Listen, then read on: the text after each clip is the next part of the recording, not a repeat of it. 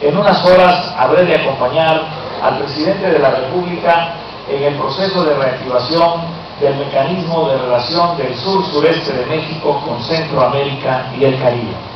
El mecanismo de diálogo de Tuzla, que habrá de reunirse en unas horas más en Villahermosa, Tabasco, convoca a 10 gobiernos de Centroamérica y del Caribe y a 9 de la República Mexicana, donde Veracruz es el de mayor población y el de mayor aportación.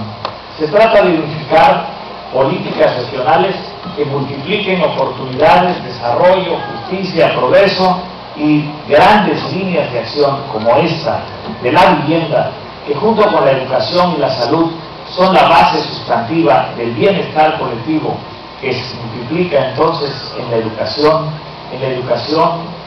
de todo tipo, incluyendo de manera muy especial a la educación especial y en el deporte y en la seguridad, vamos a seguir avanzando. Además, San Andrés en breve tendrá más recursos todavía. Con el apoyo de su representante popular, hemos logrado bursatilizar en la bolsa la recaudación del 20% de la tenencia vincular para construir más infraestructura. Vendrán pronto su mercado, tendrán nuevas realidades y acabo de entregar a la presidenta municipal el programa operativo anual con una inversión de 154 millones de pesos, 130 del presupuesto del Estado y 24 del gobierno federal donde se destacan las grandes líneas de acción. Ayer al Congreso de Veracruz le planteé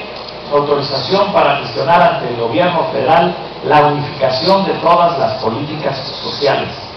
Tiene un mayor contenido si focalizamos toda la enorme gama de los programas sociales,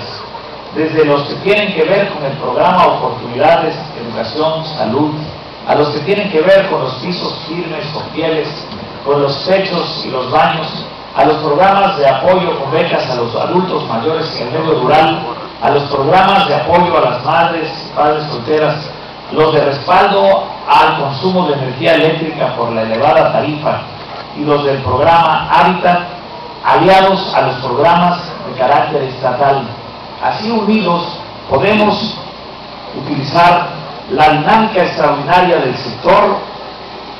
productivo, que como en este caso en sus expresiones de generosidad extraordinaria a través de la filantropía y de la solidaridad, nos dan satisfacciones como estas casas y hacer mucho más eficaz una política integral de combate a la pobreza y a la marginación y invocarla igualmente a los proyectos productivos que generarán ingresos adicionales para las familias.